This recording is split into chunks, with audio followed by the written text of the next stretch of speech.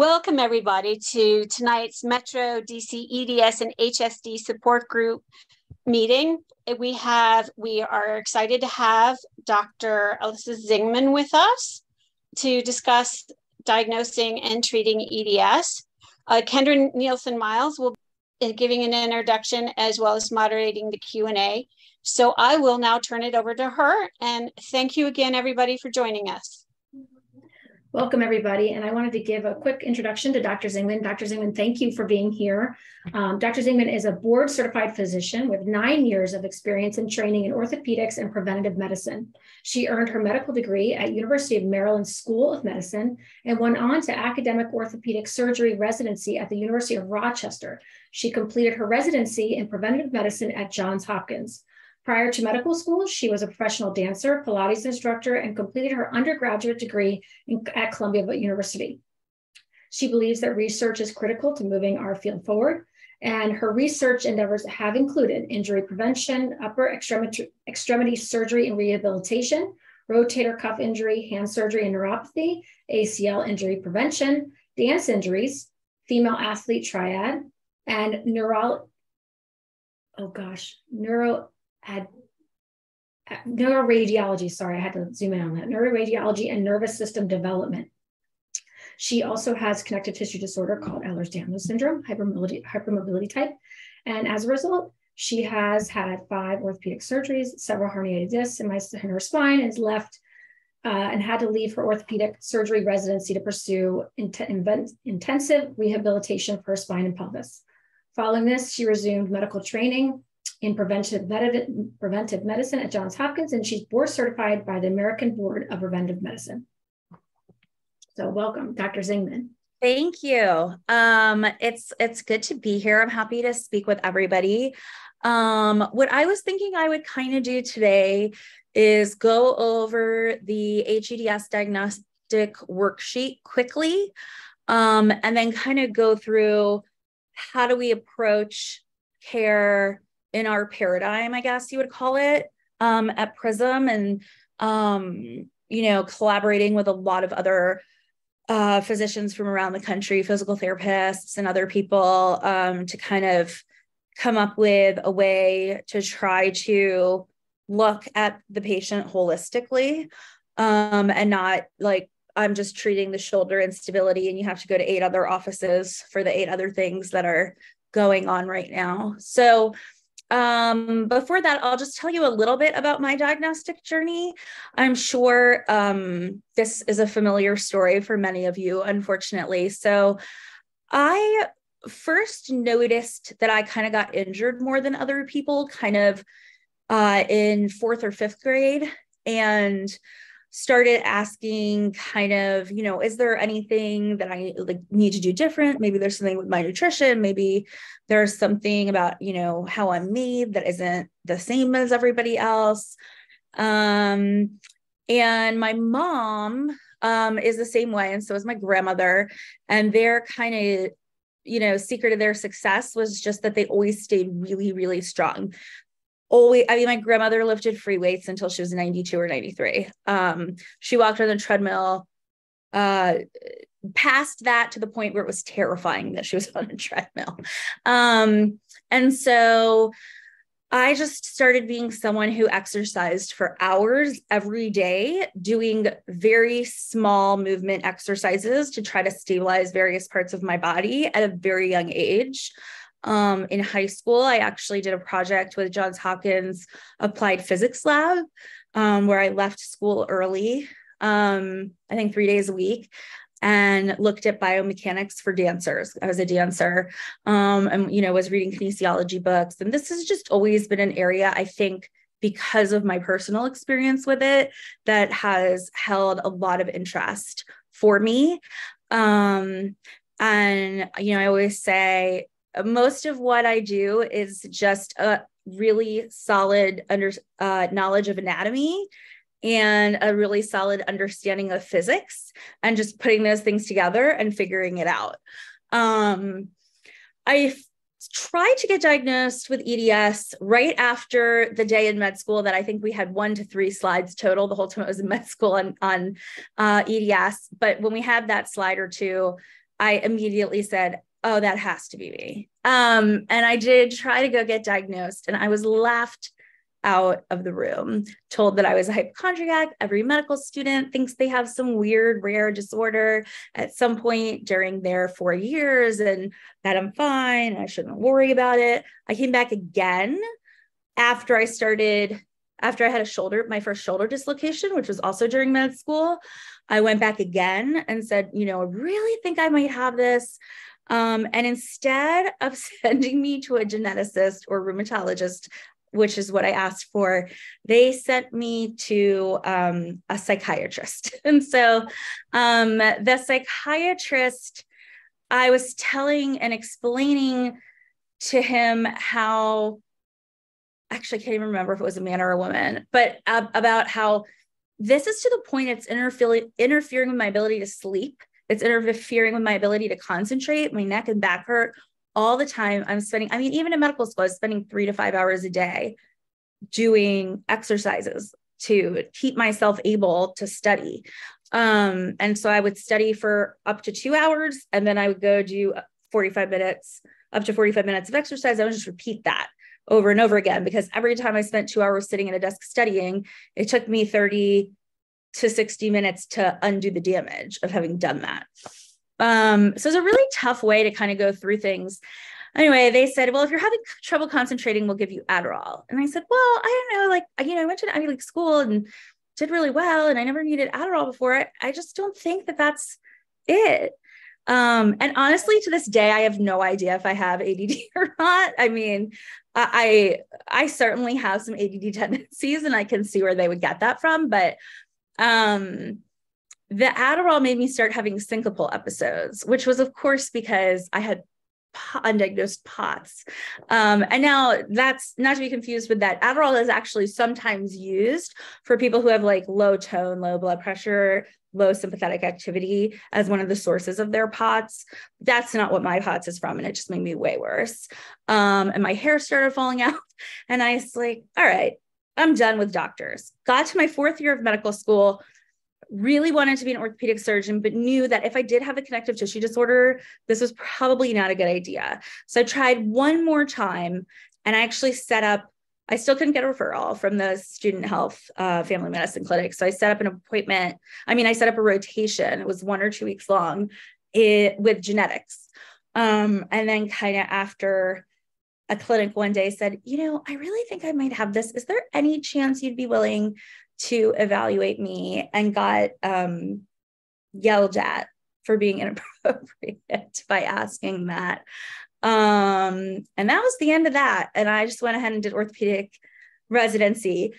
It was very, very difficult. I mean, I, it certainly wasn't the same process for me that it was for other people in terms of the amount of effort required just to keep my body able to work those long hours. And um, I just started getting like I don't know how to describe it, but just sort of like fatigued more. I started kind of sleeping through things. And then I got pregnant and it was game over. Um, and so that's how I ended up leaving my orthopedic surgery residency. With the pregnancy, my thumbs were just subluxing constantly. I couldn't hold my instrument. I mean, there's no way I could have stayed. There were so I, I could sit here for an hour and tell you about all the different things I couldn't do. Um, and then I still didn't have a diagnosis, but I knew I had a connective tissue disorder. I was certain. And I just figured whatever it is doesn't have a name yet. It's not Ehlers-Danlos syndrome, but it's something kind of like that. Uh, these things are super rare, is what I thought, because that's what I'd been told. Um, and I'm going to have to figure this out myself. And that's where I went back to my dance major in undergrad and my kinesiology classes that I took in undergrad and biomechanics for the dancer and my Pilates certification training that I had done before med school and you know my stuff I'd done at Johns Hopkins and all, all that stuff and I started putting it together and I finally saw Dr. Francomano in the fall of 2017, and that's when I got my diagnosis. I knew very little about EDS at the time. I knew mitral valve prolapse, joint subluxations. That was it. That was all I knew. Um, and that wasn't very long ago. So um, getting the diagnosis kind of started this ball rolling that this ball has just picked up momentum and grown in size as it's kind of uh, rolled. And when I started Prism, I really thought, you know, I, I was doing a job that was great. It was actually um, I was the one of the doctors for the fire department, and I did injury management and prevention for them, health promotion, and a lot of actually really interesting things that I enjoyed doing. But as I was learning more about EDS, I was realizing, oh my gosh, I have to go to nine different doctors and physical therapists, and I have to go to this physical therapist for this issue and that physical therapist for that issue. And it was just so time consuming. And I thought, I need to just create somewhere where this is all in one place because if I'm a doctor and I can't even navigate this, how is anybody else navigating it who didn't have the good fortune of getting to go to medical school before they got sick, you know? Um, and so I thought at Prism that I would probably work about three days a week, that would be very low key. I really thought that EDS was rare. So I did not think I was going to have a lot of patients or a wait list or uh, any attention on me. And I was just want, was going to quietly kind of do my thing. And I think um, probably most people know what happened from there, when we were three months in, we had a three month wait list. We were six months in, we had a nine month wait list. Um, and so I'm just seeing a message. Okay, we'll skip the HEDS checklist. Um, and that's how Prism sort of grew, was because the patients that I was seeing were asking for more services than what I was offering and I wanted to be able to give that to them. And then also we had this really long wait list and every day people were calling us in tears that you know they don't know if they're going to make it till a year from now or two years from now or however long the wait list was at that point. Um, and i realized also that after some head and in- concussion injuries and pneumonias and other things that i'd had my health was declining and I wasn't going to be able to do this myself. So that's when I started hiring other doctors, bringing more people in and growing the practice. Um, so that's kind of just a little brief um, history of how this all happened and how I ended up here. And, um, you know, I still feel kind of sometimes um, that it's an irony that people consider me an expert in things that I didn't know existed four years ago. Um, it, it really speaks to what a bad job we're doing as a medical community for these patients. Um, and it also speaks to the fact that this is learnable and that you, the information is out there. If you're looking for it and you're a doctor, you want to learn about it, you can learn about it. You can find the information. It's it's there. Not all the information, but enough information that you can really help people. So um, I'm going to talk a little bit about the approach that kind of crystallized for me over the course of my first year working at Prism. And, and I have some slides to go with that. So um, this is a huge long PowerPoint that has a million different things in it. So I can kind of like go to whichever part whoever has asked me to speak most wants me to speak about, which when I asked what um, people most wanted me to speak about today, it was kind of how do we approach these patients and what do we do? So that's what I'm going to kind of cover today.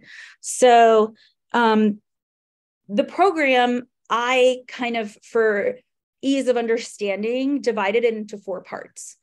Um, and I'm going to go through each of those four, four parts in detail organize, stabilize, mobilize, dynamize. Um, one of the first things I teach people so, whenever a new staff member is coming to work at Prism as in a clinical role, they spend a minimum of one month just glued to me for and, and I'll put them with other people in the practice too. I'll put them with Dr. Henderson, I'll put them with Dr. Maitland if they're going to be doing stuff related to MCAS. But I mean, they just spend full time one month. It's their job. I'm paying them to do it. And all they're doing is learning. I'm giving them articles to read. We're discussing the articles. Um, and one of the first things I always say to anybody who's going to be doing any manual work with patients is you don't organize it without stabilizing it. So, what I mean by that is we don't want to be a place that just puts joints back into alignment and then sends you out into the world without making sure that you your body is able to create some stability in that position. Um, and so let's talk about organize because organize um, covers a lot. So the first and most obvious part of organize is related to the musculoskeletal system. So that's getting all the joints into alignment, restoring proper mu muscle contractility and firing patterns, proper breathing mechanics, um, there may be fascial work involved. There um, occasionally we'll do dry needling uh, to kind of get something, but the focus is really on we want the bones to be seated in their proper position in their proper orientation at their proper width and length and we want the muscles to be able to fire and we don't want muscle or fascial tension pulling them back out of place like uh, whether it's compressing things together almost like the way you jam your finger playing basketball things can get uh, compressed together or whether it's something kind of hanging off the body because and, and not supported up in the joint. Um, so that's musculoskeletal. Um, the other two parts of it are less obvious. So neurologic. Um, a lot of this has to do with sympathetic and parasympathetic tone and trying to balance that out because what I think happens to a lot of people with EDS is everyone around us who is in good health and doesn't have EDS, they're stacking wooden blocks to stay upright.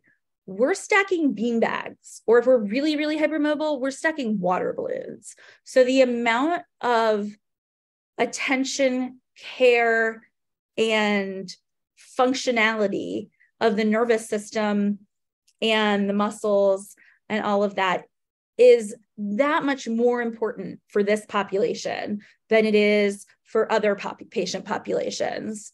Um, so, POTS is the obvious thing, but also anxiety, PTSD that's untreated, poor sleep, um, anything that's putting your body into a stress state and like keeping your body in a fight or fight or flight type of state we want to address.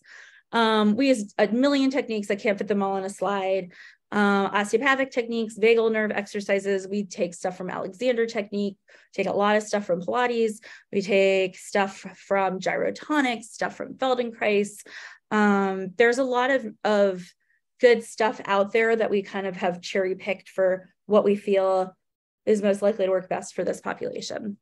A um, lot of focus on breathing pelvic floor for this also.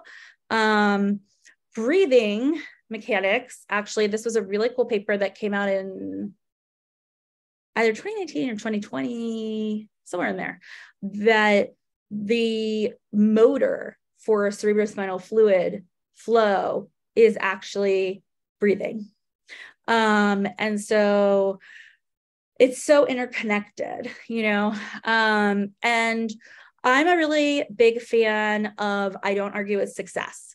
So Ayurveda, acupressure. We used to have an acupuncturist here. She moved away.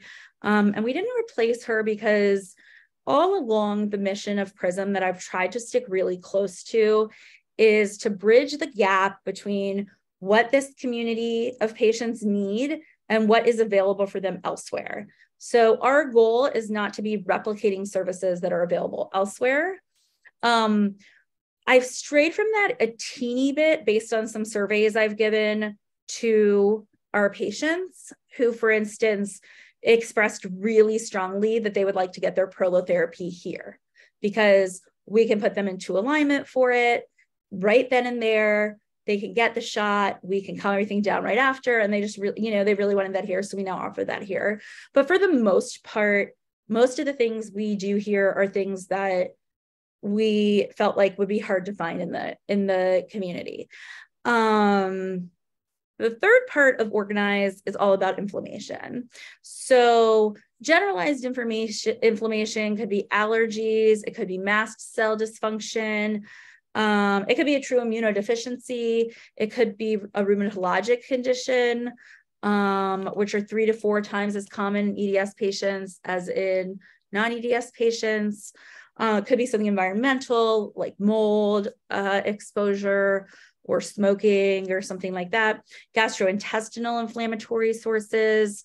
Uh, there's been a lot of research in the past 10 years about the gut brain axis. And I think more and more people are familiar with that. But I think what still gets ignored too much is the gut joint axis and inflammation in the gut translating into inflammation, and in our case, instability potentially in the joints. Sorry, I'm giving myself a little Benadryl because I'm having a little bit of a hive type day. I'm getting one right here. I don't know if it shows up. um, here we go. Okay, that should do it. So um, central nervous system, we may use something like low-dose naltrexone.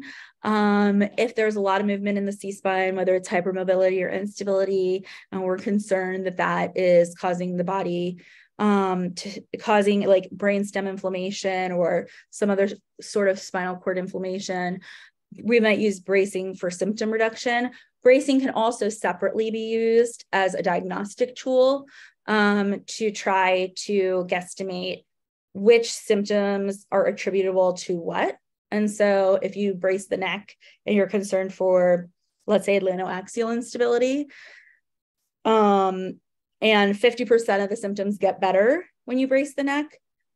And it really was good bracing. It fit the patient well. They did not tolerate it because their jaw and they really wore it full time for two weeks whatever didn't get better during that two weeks, we need to look for was it something other than the C1-2 instability that was causing those symptoms, right?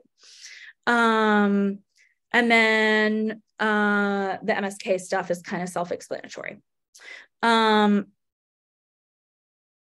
I've said I'm so sorry if you guys have like ever listened to my podcast or me speak before because sometimes I'm a little broken record. I find an analogy that works and I just say it all the time. But one of my analogies that I say all the time is most mothers give birth to a Honda Accord, let's say. And with this condition, what's been birthed is a Formula One race car and the owner's manuals are just very, very different.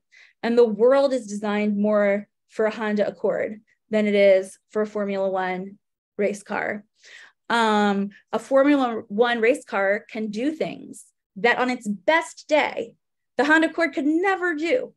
Um, and, and there's, you know, a lot of f- fancy, amazing things about a Formula One race car, but if you try to give the Formula One race car the same fuel that you give the Honda Accord, you're going to end up with a broken down car. If you try to make the Formula One race car tow the same U-Haul trailer that you're towing in your Subaru Outback, you're going to have a very unhappy Formula One race car. So I think it's a lot about this idea that there's just a different owner's manual for this body.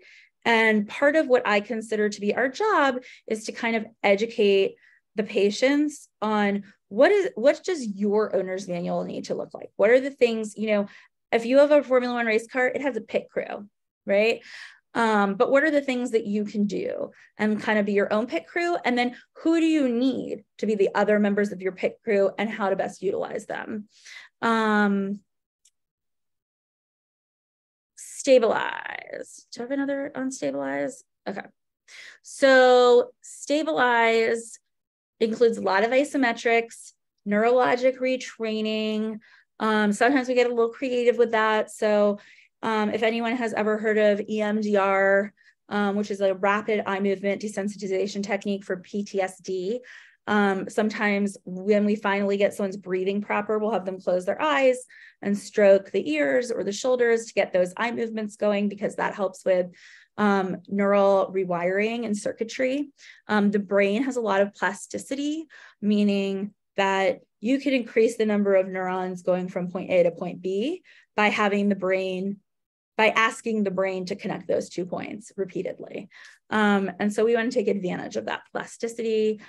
Um, and a lot of patients, you know, even in order to talk or do the smallest gesture with their arm, they're kind of going into a clenched position because all of a sudden, if I'm doing this, there's a lever arm away from my torso that my torso has to be stable against. And even with my jaw moving, the jaw is like a lever arm on my upper C spine that it has to stabilize. And so, even just getting someone to maintain proper posture in a seated position while talking might be something that we would work on. Because if every time the person talks, and we all talk multiple times throughout the day, obviously, they are jutting their head forward, squeezing their shoulders back, and bracing themselves. No amount of, get, of, of doing the organized stage is going to ever fix that, right? Um, and we want to be making forward progress as much as we can with the understanding that this is never going to be a car that doesn't need a pit crew. We want the reliance on the pit crew to decrease over time. Um, so that's stabilize. Um, people often ask me, how do you decide how much to brace? So sometimes you're bracing for diagnostic purposes. That's different. But when you're bracing for therapeutic purposes, my philosophy is the minimum required to avoid symptoms. And so you look at the timing and the duration. So let's say someone has CCI, their number one symptoms for their CCI are occipital headache that radiates in the Rams horn pattern and nausea. And I ask the person, Do you wake up with it? And they say yes. Okay, they have to sleep with the brace. I've asked the person, Do you wake up with it? And they say no.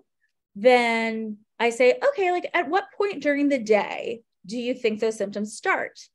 Um, and sometimes they have to go home and pay attention for a week and get back to me on that. And that's fine. But let's say the person knows and they say, between 11 and 12. Okay, what time do you wake up?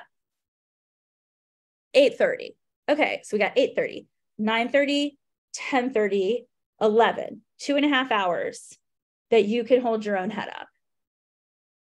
Let's go a half hour prior to that and say you're going to have two hours off the brace, half hour to an hour on the brace, and then repeat. Two hours off, half hour to an hour on. And then we can try to lengthen the two hours. We can try to shorten the hour or half hour that they're wearing it and try to decrease their dependency on it. Um, same exact way that I would decide, for instance, how often someone needs to wear their SI belt or any other brace um, that we were looking at. Um, this is an example of how organize and stabilize apply to a specific condition. Um, and the thing with organize and stabilize is the same way that a professional football player never graduates from weight training, stretching, balance training, calisthenics, drills to make sure their feet move quickly. No one ever graduates from organize and stabilize. What should happen over time is that you can get the same result in less time. So, so you don't have to spend as much time on organize as, as stabilize uh, and stabilize as you, and you can spend less time on those and still maintain wherever you are. Um, so if we're looking at the upper C spine in organize, it's not just getting this into alignment. It's starting with the, the core, the base that this sits on. Um, and so it's pelvic alignment, the coccyx is so ignored. Um, probably my happiest patients are the ones who come into me never having been told that their coccyx could be out of alignment and they do have a coccyx out of alignment and we put it back into alignment and they like think the most amazing thing in the whole world has just happened and it's really heartwarming but it's also really tragic because something that takes less than a minute to do could have been done two years ago when this started and maybe this person wouldn't have had this awful two years with all these downstream effects of the fact that they landed on their bottom and their coccyx was out of alignment for the past two years um, so uh, spinal alignment rib cage alignment and biomechanics um, and then jaw and shoulder are huge. I consider jaw and shoulder to be 100% of the time part of treating the neck. I call the, the TM joint, I call it C negative one. So you have C76543210, zero, negative one. Um, it's, it's basically part of the spine because it's a handle that can apply torque that you will feel all the way down the spine will affect a lot of different things. Um, so hugely important. Um, shoulder stability. The shoulders are kind of like if you imagine there were two guys sitting here and they had all these lassos, like a lasso around your ear, a lasso around a little spike sticking off of this part of your head and this part of your head. And when the shoulders are sitting slumped low and forward out of the joint, it's like the guy holding those lassos jumped here and he's just flapping in the breeze. And so that creates a situation where we're never going to be able to get that neck feeling better if we don't address the shoulders. Um, stabilize also um, can include prolotherapy and often does.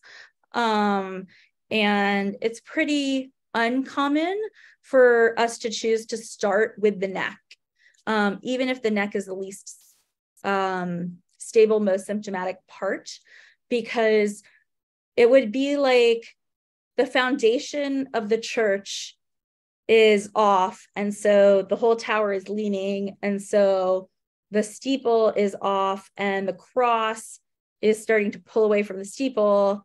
And all I do is stick the cross back on properly. Well, I haven't really addressed what's going on with this structure, right? Um, I already kind of talked about REM and EMDR. Um, if you organize it, you stabilize it before the patient walks out the door. Very important principle. Um, okay, mobilize, mobilize. So, so anybody who's been to PT knows that one of the simplest exercises that you'll be given in PT is like a heel slide, where you're laying on your back and you slide your heel out and then you slide your heel in. Um, that would be a pretty advanced exercise here. We're not going to probably, I mean, if someone comes to us and we catch them early and they're still super functional, maybe we'll get to that really quickly. But if someone comes to us and they're already, you know, have not able to work, they're not able to walk five blocks, they're not able, you know, to do all these things. Um, that's not going to be the first thing we do because in order to do that properly, all the movement has to happen at the hip socket. And that means your leg is a lever. It's a partially supported lever arm because your foot's on the ground, but it's still a lever arm. And what'll happen to the low back, if this is low back and the hip socket is here, I'll put it here, is as the hip starts to go this way, the low back will do that. Right? And we need the person to be able to control the lumbopelvic junction and lumbopelvic alignment before we have them do this against it. Um, so it's all about the axial skeleton is your head, your spine, and your pelvis.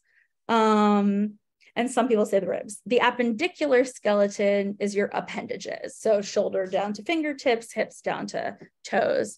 So in most cases, not all, because sometimes someone just what they really need is their footwork done or their thumb. Um, but in, in a lot of cases, we're going to start with the axial skeleton, get a stable base that we can then move these on a stable base.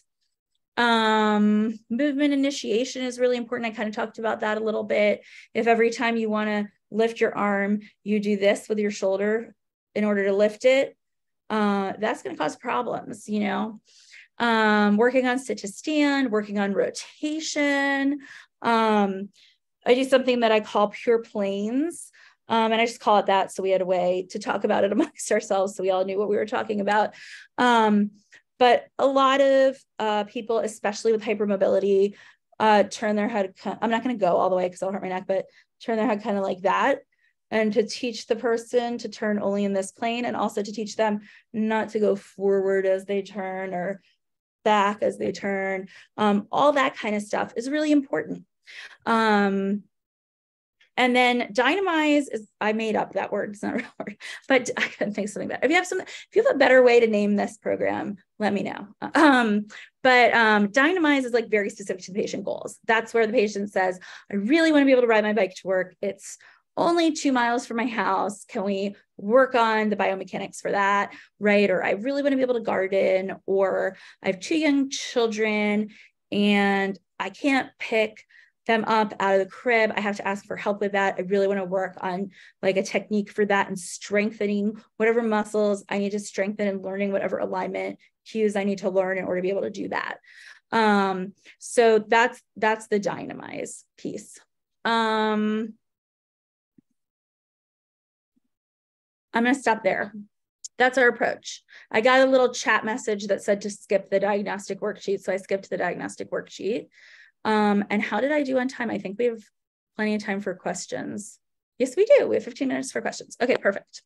You are doing well. So if you um, either you can read them, there's a couple in the Q&A. I have a couple that have also come through um, on email, so we can go either way. What would you like to do? I can start with the Q&A. Yeah, and I'm happy to read them for you if that makes it easier. Not that I have the best eyesight, but I'm happy to read them for you if that makes it easier for you. There, it looks like there's somebody that that asked a question about. Can you talk the diagnosis of photophania? Something that like that that, that I diagnosed with. I, I think that must be photophonia. Maybe. Um. Light sensitivity. That's all. It just means light sensitivity, sensitive Yeah. She said, How is this similar or different to EDS? So I think you it's something that people with EDS can have. Um, and people without EDS can have it, and it can be due to a problem that is intrinsic to the eye, that's an eye problem, or it can be due to a nervous system problem. Um, because in EDS, so the brain is held up in the skull where it belongs by these membrane, membranous structures that are made of connective tissue, of course, right? And so something that can happen in EDS patients is the brain is sitting lower in the head. And where this kind of um when it's really low, it's a Chiari, right? But um what can kind of happen is there's too much movement at the head neck junction. And also at the head neck junction, is actually brain matter, not just spinal cord matter. Um, and so some of the cranial nerves, um, and also because the cranial, some of the cranial nerves pass past there, um, and also because of TMJ and some of the cranial nerves that are affected by the TMJ. And the cranial nerves are the nerves that come off the brain stem. So they're they're just above where this where the brain stem becomes the spinal cord. Um, and they control eye movement, pupillary reflex, and all that kind of stuff. Um, and then also another reason that um, it can be really affected in um, EDS is because the posterior fossa, which is the like trunk of your brain, for lack of a better way of saying it, back here is where your cerebellum is, and right above your, which is for balance, which is part of why a lot of us have trouble with balance and proprioception. Um, because there's off, it's often very crowded, crowded posterior fossa might be a finding on someone's imaging. Um, and so, um, right above that cerebellum, and the cerebellum actually participates in this particular task, but right above that is vision. And so coordination of eye movements is coming from this area that tends to be under compression. And then it's going out to the eyes through cranial nerves that may be very affected by this excess hypermobility or even instability up in here. And so um, photophobia, um, which is like light feels almost painful, right? Or or my eyes can't adjust when i go from a dark like a dimly lit room to a well lit room um, can be more common in eds patients than in the general population. Uh, short story long there. All right. Mast cell mast cell you know mast cell flares migraines which can be related yes. also related to all of the above the everything that you just said also are one of the absolutely. things i know a lot of us um, Yes. There are eight ways to Sunday that we can get. right. Uh, all related. Yeah. Somehow related to one another. All right. Um, somebody asked the 2020 paper that you mentioned, the breathing technique. So I did, I don't think I mentioned a paper about breathing techniques. I think what I mentioned, sorry if it was unclear, is that there was a paper. I, I honestly, I don't remember who wrote it. I'd have to, I, I can try to dig it up and email it out. Um, but it was a paper that said that I think I posted it on was I on Twitter yet? I'm not sure. But it was a paper that's basically said that respiration is the pump that pumps the cerebrospinal fluid um, around the brain and washes it over the brain and through the spinal canal and, and, and like pumps it through. Um, I think I know exactly what paper you're mentioning. I can. I'm happy to help find it too. Okay. There's a found. There's an organization that specifically focuses on breathing. I think I know exactly what paper you're. Oh, really? About. Yeah, that I follow on Instagram. I'm like, sure eight years ago. Yeah, yeah, I know. So eight years ago, I could tell you where I read stuff yeah. and how I know it, and now it's just I've been in medicine long enough that I, I kind of could tell you within a year or two when I read it, but I'm not going to remember the name of the paper and who wrote it. If you can't find it, I, i am happy to help you try to find it so that we can share um, the group if they're interested. So um, EMDR, um, EMDR in general is done for post traumatic stress disorder. And yes, there are people in the area who do it. Um, Julie Bindeman, B I N D E M A N, um, is one. Um, I I think her last name might be Dubois. Her first name is Helene, um, who's right near Pike and Rose, is a psychologist who does it. Um, and you can kind of Google, and there's a site somewhere by the EMDR people that like lists the certified providers. Um, in terms of what we do, which is kind of a bastardized version of EMDR, it's not really EMDR, um, that we have taken that principle and applied it to be a, one of the tools in our tool basket for neurologic reeducation, neuromuscular reeducation. Um, I think we're probably the only ones doing that just because it was a random crazy idea that I hadn't tried and then it worked and then I taught it to the rest of my team and we do it sometimes but um there may be another crazy person out there who had the exact same crazy idea as me and I don't know about it. Um that certainly could be the case. Um somebody asked If, go ahead are you ready to yeah, reading the next one. Okay. you're seeing a physical therapist who is not HEDS literate.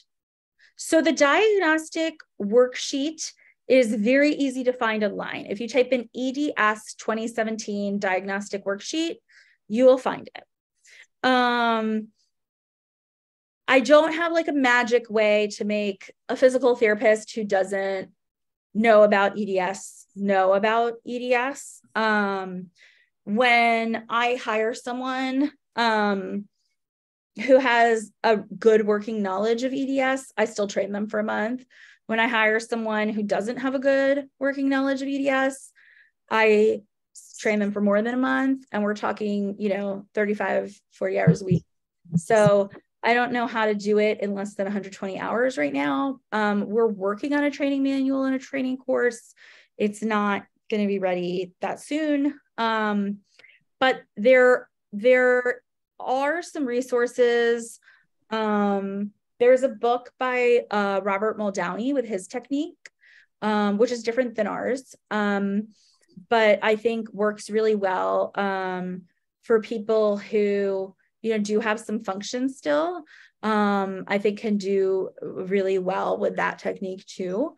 Um, and there's a book called uh, Living Life to the Fullest with EDS that he wrote. Um, so I think that would probably be a good place to start. Um, there's also the book Disjointed, which is a fabulous book that's not just about physical therapy, it's about all different kinds of things. There is a section in it on rehabilitation and um, an expert opinion paper um, just came out, um, which is also not how I do things, but um, but it, it is a collection of some really smart people, a lot of whom I know, um, who um, got together and um, decided to like write up recommendations for cervical instability treatment with rehab. Um, and so that is brand spanking new. I mean, it came out like in the past month or something. Um, so I'm sh- since the EDS Society sponsored that, I'm sh- I would guess that it's pretty easy to find on their website. Um, I go on PubMed and do like an EDS literature search every week or two, so that's where I found it. But um, I, I can't imagine it's not easy to find on their website. and there's actually a lot of good information on the EDS Society website. Yeah. Dysautonomia International is also a great source of information for anything dysautonomia or POTS is a type of dysautonomia uh, related. And um, there are a bunch of lectures of old lectures from Dysautonomia International, EDS Society, and Mastocytosis Society on YouTube um, that you, that are just free to watch on YouTube. Um, and some of them are only like you know six months old. Um, they're pretty recent, so uh, that's that's a good way to get information as well. All right, you want to do the email questions? I think I got sure. all the ones I missed you. Did I? Um, oh. There's a couple that says um, somebody said, right, "How do you?" Uh, it says, "How do you handle hypermobile patients with mental health issues such as anxiety, depression, ADHD, who aren't responding well to traditional antidepressants, ADHD medications?" So my recommendation in that case would be to do the pharma pharmacogenetic testing, um, which is genetic testing that can help figure out which antidepressant um, your body might be best at metabolizing. So there are a lot of, um, and I think very underappreciated um, metabolic abnormalities that happen in this population.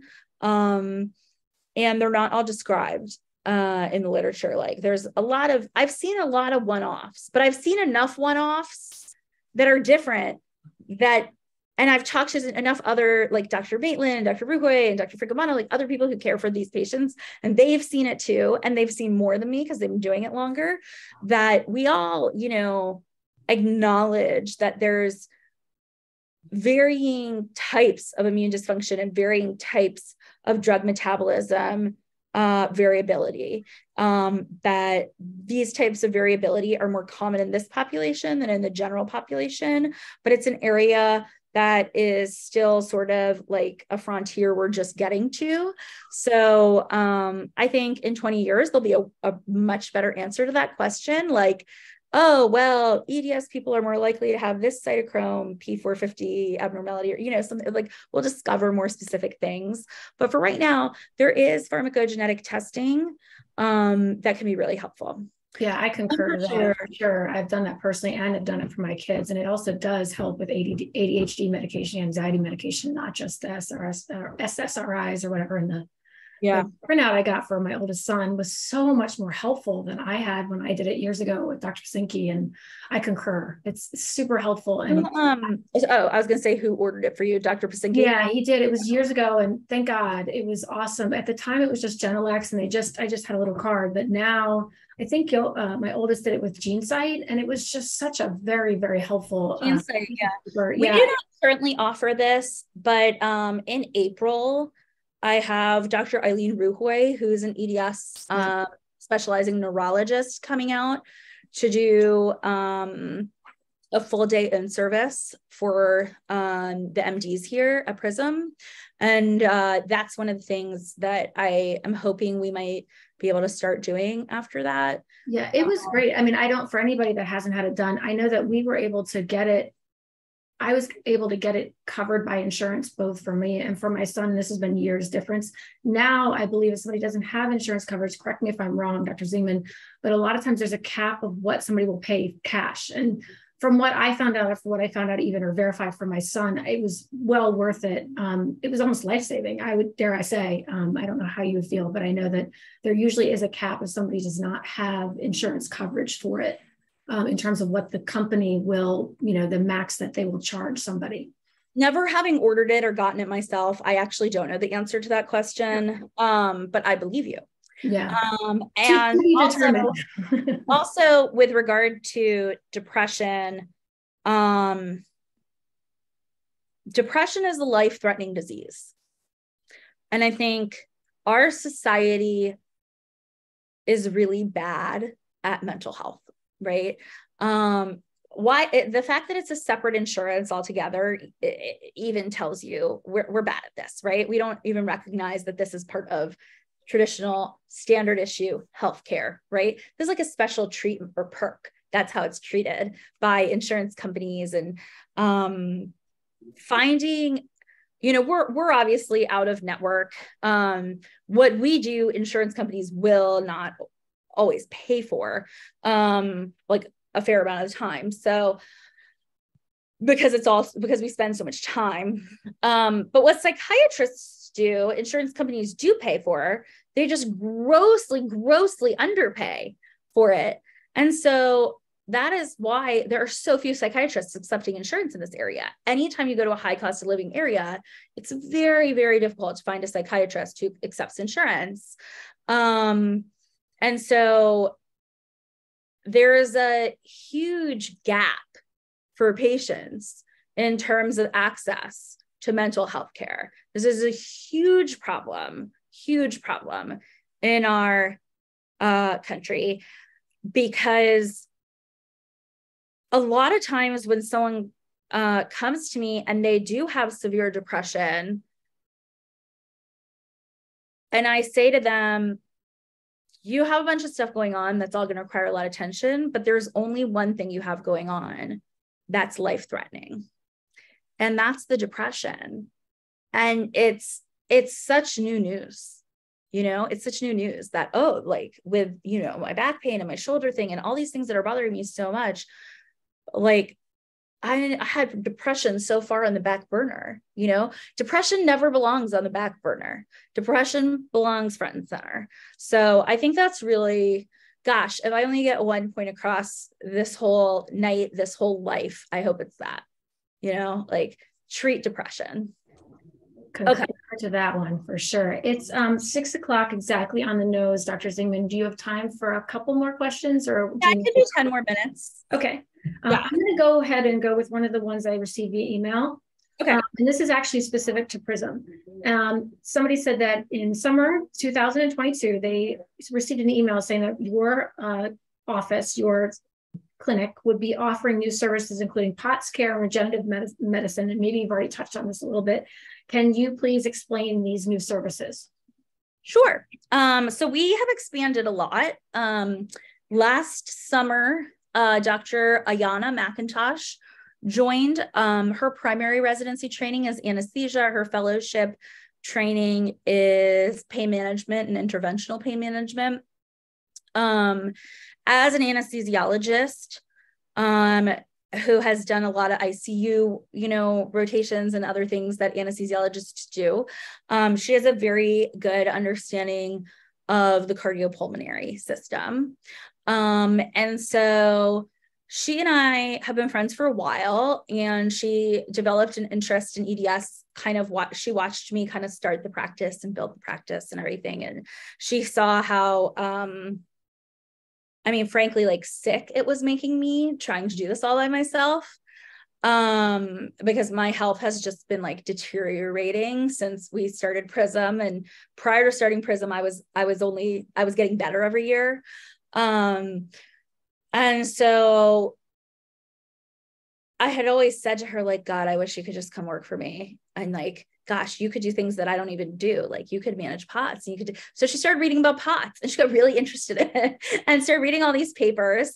Um, and then she came and I taught her how to diagnose EDS and do a bunch of, you know, other things, cervical instability. I mean, this is a woman who's been doing procedures on spines for years. Um, so she, you know, understands the spine. Um, but certainly some of the EDS specific stuff. Um, additional education was provided. Anne Maitland came down for three days um, and just taught her more than I ever could about mast cell activation syndrome. Um, and so she is managing those things. Um, we do not do tilt table testing here. If we feel that someone needs tilt table testing, we will refer them out to a cardiologist. We always refer out for echo. Um, and the way I describe it is we manage POTS and MCAS the way you're a, a, primary care doctor who is interested in diabetes manages diabetes. So if you need, you know, your blood sugar is a little elevated, you need lifestyle changes, metformin, we got you. If you're a level up from there and you actually need like the semaglutides or some of the more aggressive diabetic medications, we got you. If you need an insulin pump, you should be seeing an endocrinologist, right? So that's kind of our like ethos with managing that is, you know, we try to really fill that gap and get you care immediately for those things that can help start making a difference. And if your condition is so severe that it requires something that we feel really needs to be managed by a cardiologist or immunologist, we send you to one. Um, so that's kind of what we're doing with POTS and MCAS. Um, so we'll prescribe ketotifen, you know, H1H2 blockers.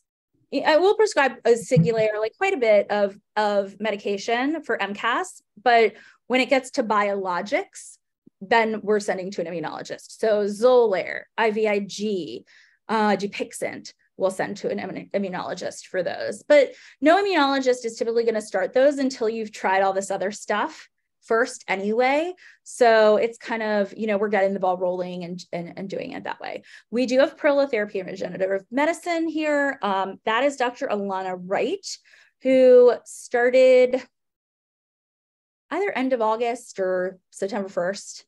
Um, she also uh, attended the Dr. Maitland in service. Um, she also does a little bit of MCAS. She does about the amount that I do. Um, and then we'll kind of let, um, in terms of interpreting labs and making tweaks, the follow up for that would be with Dr. McIntosh. She does, she's a sports medicine doctor um, who prior to coming here specialized in female athletes in the female athlete triad, which is now called relative energy deficiency of sport. Um, because people just like to rename stuff for us old doctors so that we have to sound stupid when we say the name from 10 years ago. Um, I'm counting myself an old doctor now. Um, so um, yeah, she's great. And um, and she does shoulders, elbows, ankles, knees, wrists, hands, feet. Um, she does not do spine. So we, we still refer out for spine. Interestingly, Dr. McIntosh can do spine, but I don't have a C-arm. and I didn't build a leaded room uh, to put the C-arm in. Um, so we refer out for spine injections. All right. Uh, how about a couple more questions? And one of them is specific to getting into CU. So I'll ask the other one first, if that's okay. Um, and then you can wrap up on one that's more specific to getting into sure. CU. Um, somebody said, could you speak to temperature dysregulation, tremors, and those of us who, what can help and who can help us with these? Who, could you speak to temperature temperature dysregulation, excuse me, tremors, and who can help us with this, these? Yeah, so um, temperature dysregulation uh, can come from a couple different things. Um, one of the things could be MCAS.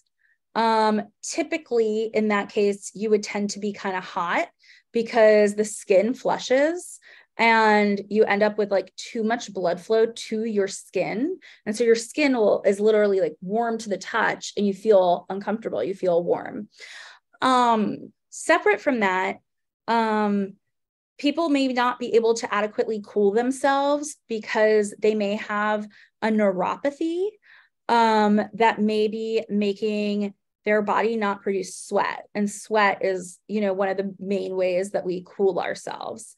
Um, and so small fiber neuropathy, which we do biopsies for here and diagnose here and all that stuff, um, so is, is, is pretty darn common in this population as compared to the general pub public. Um, and that's the most well-known neuropathy, but you could also, for instance, have a sympathetic ganglionopathy, and it could be autoimmune. Um, and so um, there's that's kind of uh, like at the at the junction where neurology and immunology meet, where there's an immunologic process affecting neurologic function. Um, and those things can be pretty tricky to figure out. Um, Sometimes the answer is just get the MCAS and under better control, get the heart rate better regulated, and the temperature dysregulation kind of improves. Other times the answer might be going down another path, doing biopsies for things, maybe even getting the patient on um, intravenous immunoglobulin. Although um, I, I think intravenous immunoglobulin is going to go out of favor in favor of subcutaneous immunoglobulin um, because uh, there's some unpublished, I think, as yet, I think unpublished data that um, is just as effective. So, um, yeah, but giving people antibodies um, to kind of suppress their auto antibodies um, to their own nervous system. Um, so it typically falls into um, MCAS dysautonomia.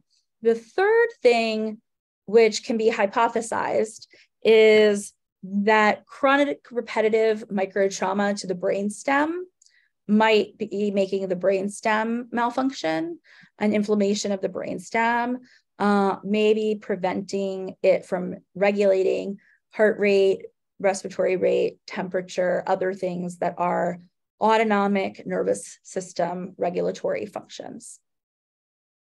Did that make sense? Yes, very much so. That was very, very helpful. Um, I would assume that those go along the lines of somebody asking, I'm tying in a, a, another question that I believe is somewhat related in terms of just what we're more prone to and different issues that we have is that those of us that have EDS are more sensitive to mold.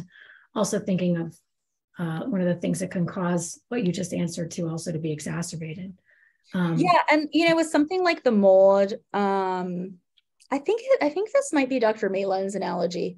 Um, have you ever heard uh, tall fences make good neighbors?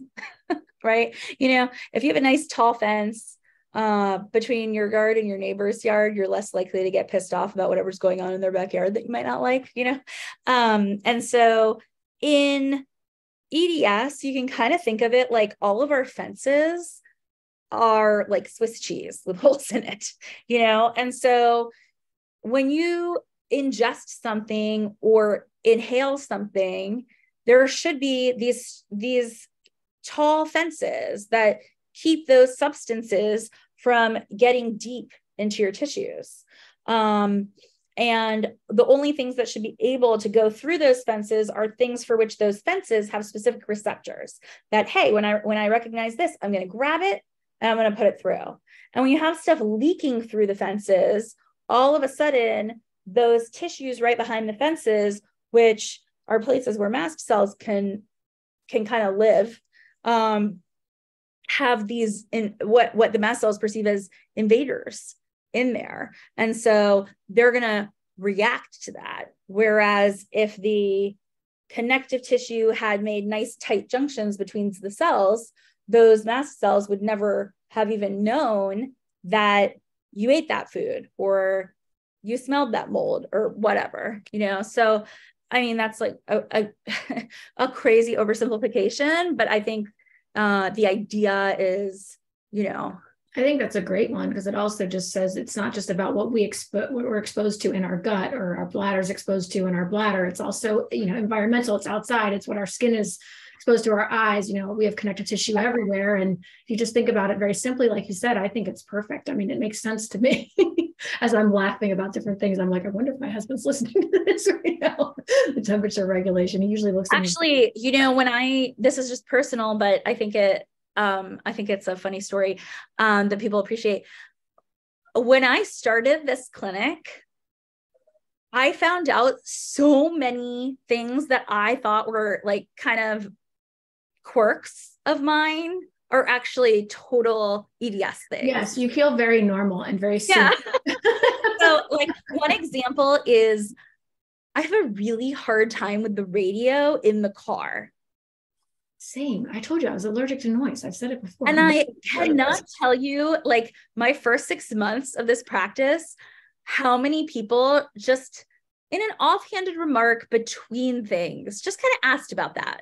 Just said, Hey, do you know, like, is there something about EDS that would make me really sensitive to the radio in the car? And I just like almost spit my coffee out every time someone said it because I have an older brother. and and when I would say that the noise was hurting hurting me, yes, too loud. Turn it up. He would turn the volume up. I was like, I can't call him and tell him he was torturing me, you know, whatever. Yeah. But yeah, there's all kinds of things like that that that are attributable to this. Well, all right. Well, a good way to wrap it up is to ask you something specifically, if that's all right. One last question to wrap it up is specifically about coming to see you and your practice and uh, what the kind of status is right now. Somebody asked if um, they had been previously a patient, let's say two years ago. So this is uh, February 2023. If they were have not been seen since January 2021, are they considered a new patient or like how much time has to go by until like the person is now not considered a new patient and they have to be considered I guess, or is not a current patient has to be considered a new patient. I don't know that I have an official policy on that. Okay. Um, but certainly two years would be like the outer edge of where we wouldn't consider you a new patient. However, um, you would not have to wait on the wait list if you've been here before. So you would have to do a new. What's that? Oh, oh sorry. That's okay. So you would have to do a longer evaluation because, um, you know, for all we know, you may have had nine surgeries and changed 16 meds in the past two years. Like we need to figure out what's going on with you. You may have had new subluxations of this joint, that joint. I mean, a lot can happen in EDS in two years. Um, but you would not have to wait on the wait list. So you would just call our office and select the option for existing patient and schedule your appointment. Um, in terms of our wait list, so we are catching up.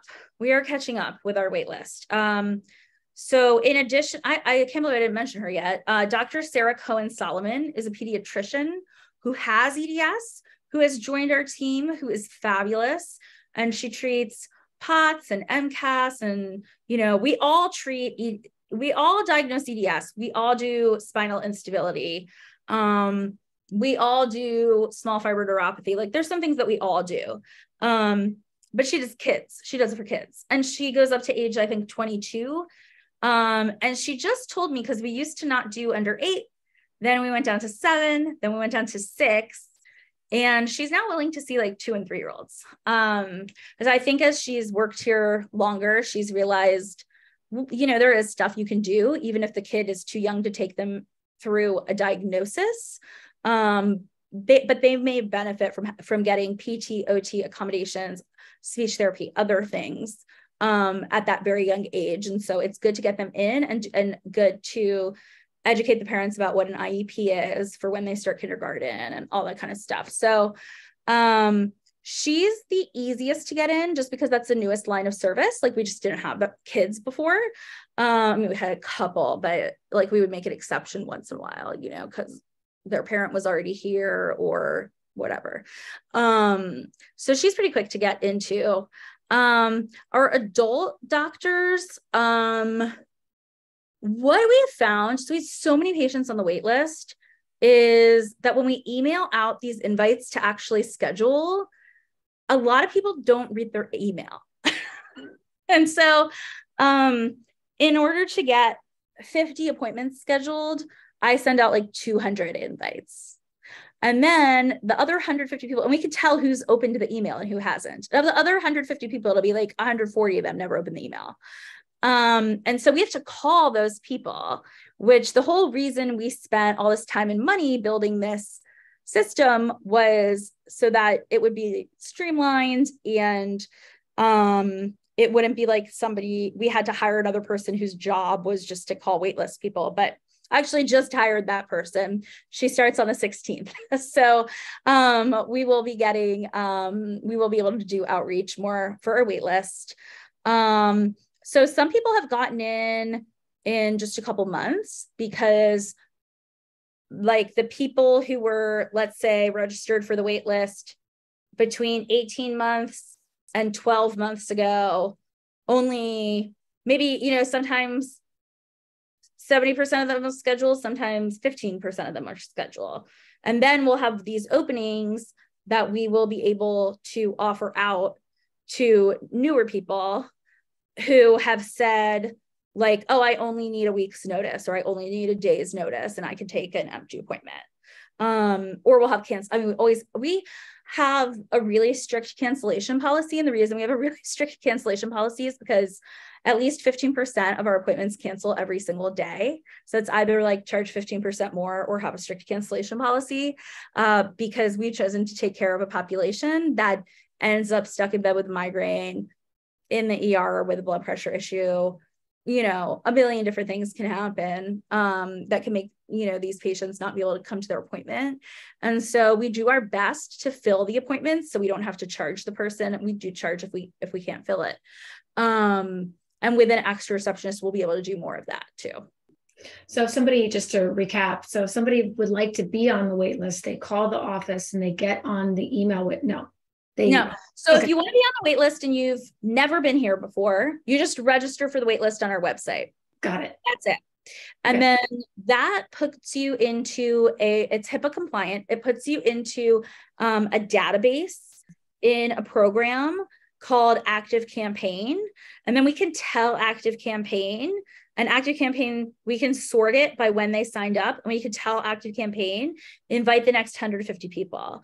And then those 150 people will get an email that has a scheduling link. And then when they click on the scheduling link it takes them into i don't know if you can tell when you're doing it that you're in our emr but you're in our emr and you're putting yourself in for an appointment. And then once you're in for that appointment our office calls you make sure that you've done your paperwork and there's a deposit um, and then you show up for your appointment. However if you already saw us but it was more than like a year ago call the office select that you're an existing patient so you actually talk to someone because if you select that you're a new patient you you get sent to the we just i mean we we get 25 new patients every week signing up for our list. I mean, some weeks is 40. So, you know, I would need like two additional secretaries just to answer all those phone calls. And I don't think my patients want to pay for that. So we're trying to do as much of it through um the like computer automated things as possible but what we've unfortunately found we've been doing it since uh, september october we started like with a few and then now we are doing it with everybody for the past like three months is that just not enough people open their emails. Yeah, sounds like a very fair way of doing it. And it sounds like it, you're right. I mean, I'm one of them. I know I'm terrible opening emails, but a lot of times it sounds like it's a new way of doing things. I think it sounds very fair and probably just newer to a lot of us patients. So I appreciate you really going over that. Um, so that, yeah. and if they've been confused, uh, I know there was a question about somebody who had been on the wait list. They had received the email about what to do. So I, I really appreciate you going over that and then explaining yeah. So check your, if you're on our wait list, check your spam, like your spam yeah. box, because um, the email comes from Active Campaign. Yeah. And it says Prism. So if you search for Prism in your inbox, theoretically you should find it, but not every email program actually has a super functional search engine. Like Outlook's search engine is terrible. Gmail search engine's great, you know, uh, for obvious reasons. So um yeah, so we actually hired this additional person in part so that we have the manpower to call some of these people on the wait list who never opened the email, of which there are like literally hundreds. Yeah. I believe it. Well, thank you for for yeah. explaining it. Thank you for your time. I think that's all the time that we have um, for questions. Is that right? Oh, you're asking me. Sorry. Yeah, yeah. I just wanted to your time. You, I want to be cognizant of your time. I didn't want. I think I think I want to stay married, so I should probably yeah. go home now. Yeah. Well, thank you so much for your time. Thank you for answering the questions that you did answer. Thank you for re-explaining the uh, wait list and your wait list and how people can get in to see you, um, and then what they need to do if they received the email or if they didn't receive the email or if they received a phone call. Um, I think that really helps clarify some of the questions I've seen at the end, um, according to your practice. Um, thank you for your what you do for the EDS patients and for young and old and your dedication to our community for sure is definitely doesn't go unnoticed. Um, and we're no, just thrilled to have you a part of our community. Thank you so much. Um, we will edit the recording and Danielle will share it out to everybody. And then hopefully you can come back again, Dr. Zingman. Happy to. more questions. Sorry if we didn't get to everybody's questions, but I really appreciate your time.